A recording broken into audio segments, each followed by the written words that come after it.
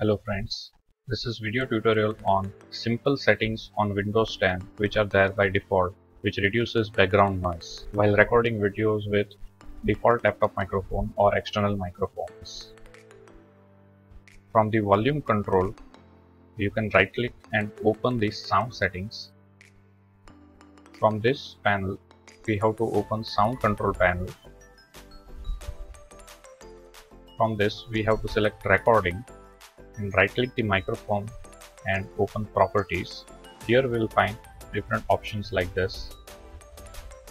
First of all, we need to enable listen to this device by clicking here. This will allow us to listen to our own feedback so that we can listen what type of noise is being recorded by the microphone. Then go to enhancements. In enhancement, there are settings like DC offset cancellation, noise suppression, acoustic echo cancellation and mono microphone. I will uncheck noise suppression so that you can listen that what noise is being recorded without this setting. This noise interferes with the audio speech. If you tick this and immediate mode is ticked, it will immediately suppress the noise.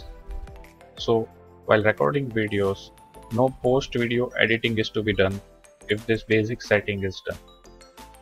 Acoustic echo cancellation is a setting which when you are using microphone and speakers cancels the echo caused by front speakers during record.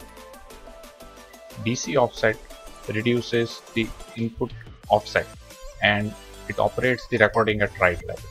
So by doing this this simple setting we don't need noise reduction in editing.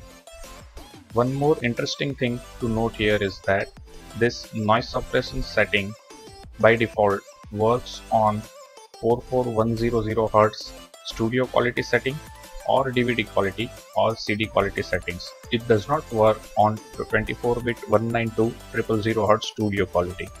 Before closing this setting, don't forget to uncheck the listen to this device and click apply. After selecting the appropriate setting and enhancement, click apply and OK and OK here. Thank you for watching this video.